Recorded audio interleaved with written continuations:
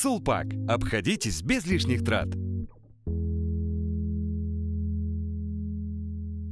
Здравствуйте, друзья! Сегодня мы рассмотрим смартфон Nova Y91 от компании Huawei. В комплектацию также входят зарядное устройство, USB-шнур, защитный чехол, ключ для лотка сим-карты и документация –